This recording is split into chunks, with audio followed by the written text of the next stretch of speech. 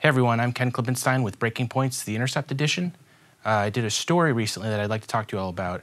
Let's talk about Havana syndrome, or as the US government calls it, um, the anomalous health conditions. That's the new official term. You don't use the word Havana syndrome for it anymore. Um, what Havana syndrome refers to is a set of alleged symptoms um, alleged by US spies, diplomats, and other personnel at various US embassies um, that they say resemble, um, you know, hearing strange noises, cognitive issues, headaches, nausea. It's a really mysterious uh, set of symptoms, and um, over a thousand of these individuals have alleged this. So I took a look at the uh, Pentagon budget, which was released last month. To my surprise, nobody had reported um, one thing that was in it, which was the budget for responding to Havana syndrome. That's $36 million. That's a budget that's been increasing every year since um, they first allocated money to this. And something I find interesting about um, the government response to Havana syndrome is how bipartisan it is.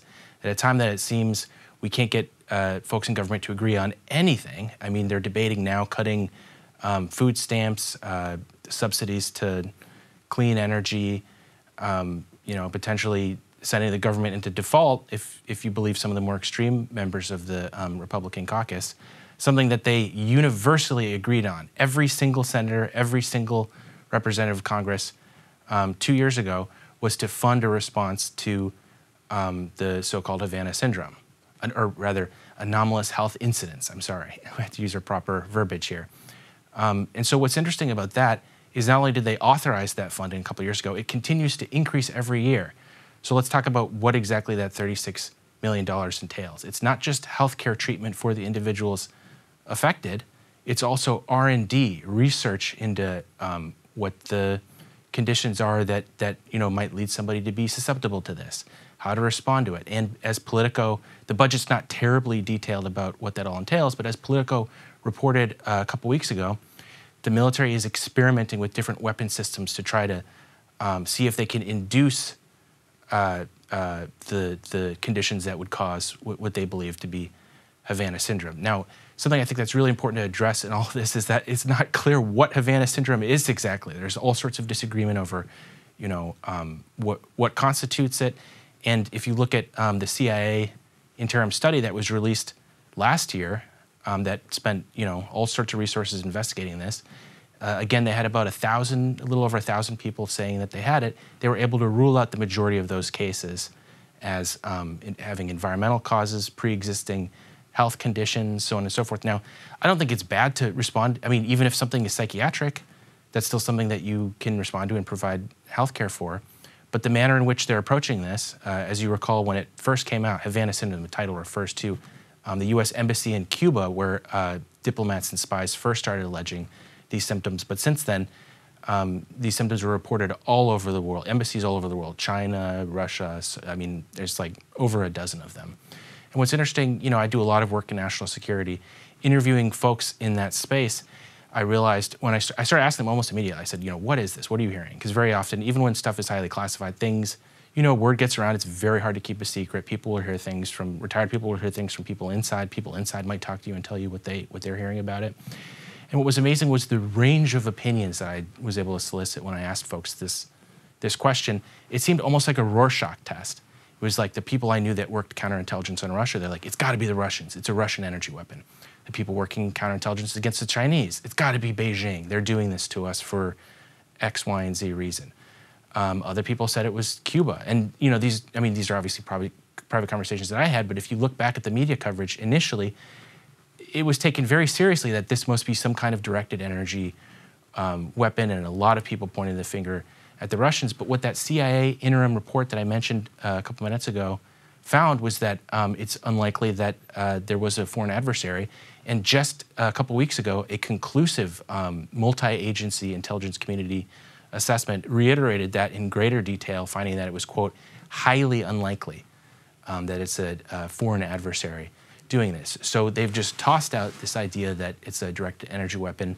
Um, not much. uh, uh, you know, reflection on the part of the press about why did we run with this before? you know, when I were running these stories, I thought, wow, they're really um, throwing their lot in with this theory that if it turns out not to be true, they're going to have egg on their face. Turns out if you just don't talk about it, there won't be any egg on your face. So there's just been this complete shift now where it's like, well, it's not a foreign adversary. Um, and you know, people can say, well, this is the intelligence community's assessment. How do we trust that that's true?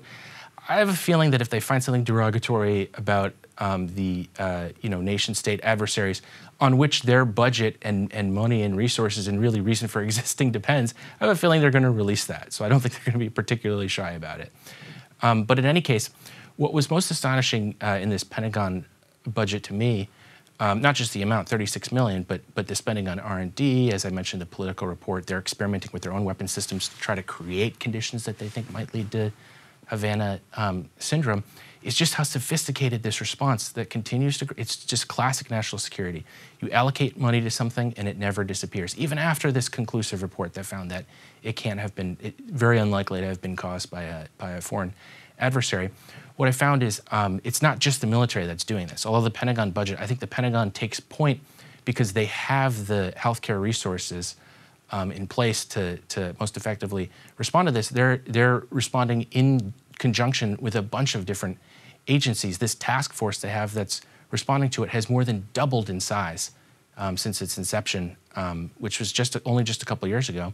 If you read an um, Inspector General report that the um, Pentagon put out last year, they found that not only has that staff doubled, it includes a two-star military general to give you a sense of like how seriously they're they're taking this, who's who's detailed, um, and a bunch of full-time staff. So these are not just people working on the side occasionally to, to work on this task force. It's something that the military is taking very seriously with regard to not just money, but the, the seniority of the individuals um, uh, detailed, detailed to this uh, task force. And in addition to that, it's people from all sorts of different service branches, Air Force, um, uh, military police, Marine Corps. It, so it's astonishing the size of this response is something that we still don't know, A, what it is, and B, if it if there is even a what there, if it even if it's something that's not just psychogenic. Um, you know, when I interviewed folks uh, who worked at the CIA, the impression I got was such an American story. It was like I heard um, the same kinds of distrust for their internal medical system that you hear from folks in this just ordinary everyday people that don't trust the healthcare system, and I understand that, but that should precipitate a different kind of response than this mad dash to find out about the secret weapon that that you know they've developed out of a Bond movie, uh, uh, versus you know uh, again, I, if it's just psychiatric, I, I, still think that's something that's reasonable to respond to. But does it require this whole regime that we've set up, not just within the military service branches, but with the State Department as well? I um, had a document leaked to me last year um, showing that the Department of Homeland Security was trying to solicit uh, reports from their personnel on whether or not they'd experienced any of these symptoms. So what you're seeing is just this huge multi-government dash. We only know about the Pentagon side of the budget. We don't know about the classified um, intelligence community budget, which is a black budget, um, which is likely, you know, includes at least a bit more money, if not a lot more.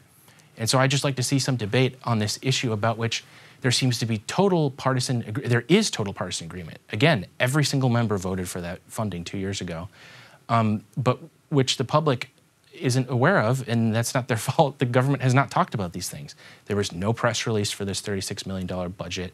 There's no discussion by the um, press secretary. I only found it because I went through the, you know, over thousands of page budget to just look for it. I just searched for the term um, anomalous health incidents, knowing that that's what the government called it, and, and, and found this.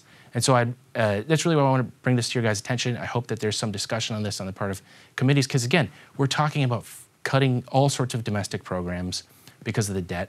And what is the one thing you never hear about? Cutting the Pentagon. That's something that is explicitly off the table that um, House Speaker Kevin McCarthy has said will not be something that's subjected to cuts. And that's incredible because virtually everything else is.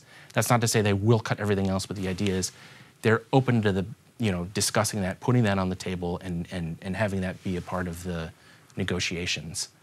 Um, so I'll be here as always, paying attention to what the Pentagon is doing and what they're not uh, telling you guys about it. Uh, but thanks so much for joining me. Once again, I'm Ken Klippenstein with uh, Breaking Points, the Intercept Edition.